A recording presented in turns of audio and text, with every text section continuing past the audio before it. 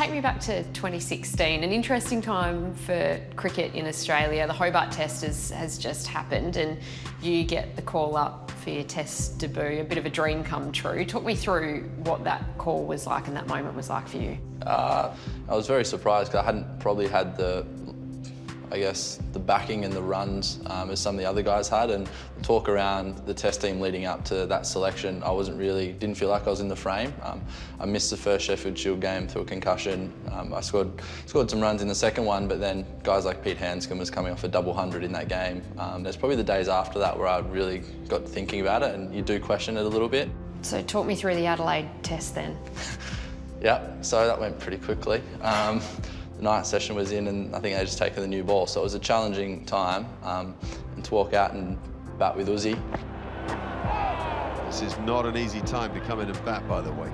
Once I was out there, I actually felt comfortable that I could I could do the job. Um, and then Rabada came on and it was all over pretty quickly and I was back in the set shed sitting down. Air balls in! Straight up the Yorker does the job. I remember watching it and we were just sitting there thinking, geez, this is a tough way to make your test yeah. debut. I mean, everyone was still getting used to the, the day-night concept. Obviously, I didn't perform um, in that test match, but you know, it was a pretty eye-opening intro to, to what it's like. And then from there, you never really got going. How tough was it? Yeah, a little bit difficult. So Brisbane, um, disappointed I missed out another pink ball game, but came in at a very good time to, play, to bat. The one I am disappointed about is probably in Melbourne. Um, against Pakistan, I felt like I missed a really good opportunity. Got him, drew him down the pitch. That was an excellent piece of bowling. And that was probably the one that, that hurt the most. When did you find out you were getting dropped? Not too long after the, after the game. Trevor Hohns just pulled me aside and it was something I could sort of see coming in a way. From my point of view, I was probably more frustrated myself. Like I said, I missed a pretty good opportunity in that game to try and nail down a spot. So I really understood where they were coming from and it just makes it a little bit harder when it's uh, your lifelong dream gets taken away a little bit. I end up flying out at 6 a.m. the next morning and, and playing a New Year's Big Bash game in Adelaide. Straight through Maddinson. Well, there we go again. It's a reckless shot. So the Big Bash didn't go according to plan either. And at what point did you realise you weren't in a great headspace? Um, yeah, probably at moments throughout the Big Bash. I guess it's similar when you hear Olympians say that they, they try so hard and they put their whole life to get to one goal and then when it's over you sort of don't really know what to do with yourself. I still enjoyed playing and I enjoyed being out there on the field but just you know the day-to-day -day activities like getting up and going to the gym or um, going and, and training um, and just doing those extra little things that I sort of lost a bit of drive to do.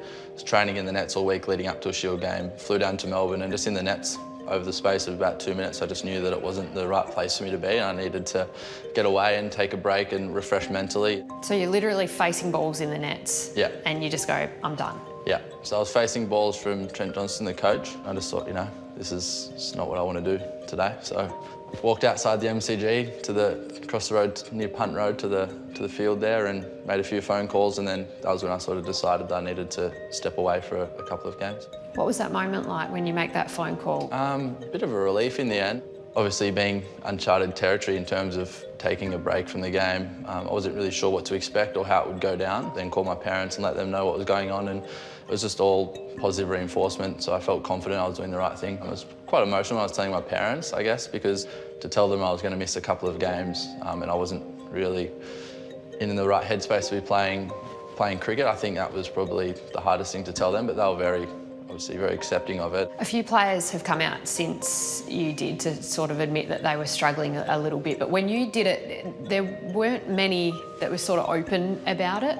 Did you worry about coming forward? Yeah, a little bit. I guess probably the consequences of not so. I think the players are probably the most accepting out of anyone. People have probably gone through the same thing and maybe at a um, deeper level than what I was, but I just feel like maybe they do hold back um, not knowing what the consequences will be. Um, as I say, I think the players are always very accepting. It sometimes comes from a little bit higher up that you, you sort of question whether selectors will see it your way and see it the way other people do. And I think it just brought to the front that, you know, just because we're cricketers and we do have such a good lifestyle and um, lucky to do what we do, that we still, we're still human um, and you still go through things that everybody else does.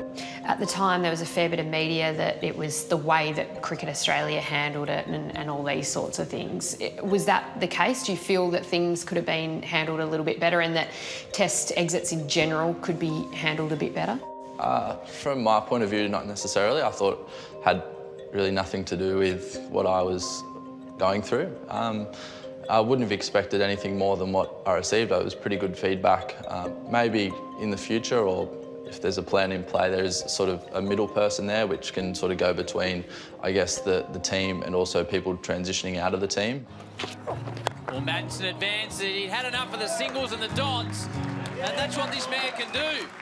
The exit from New South Wales obviously wasn't what you had planned and, and didn't go to plan, but you found yourself in the Cricket Victoria change rooms and and are you happy? How has the move gone? Are you in a, in a good space? Yeah, extremely happy. I feel like I'm thriving in this environment. It's a lot of responsibility placed on the players to get themselves right and make sure you're doing the right thing, um, which is something I like, a bit more freedom and um, you know, to, to train the way I want to and to play feel confident in playing the way I want to as well. When you think back to 2016 and, and everything you went through, do you still have aspirations to play Test cricket for Australia?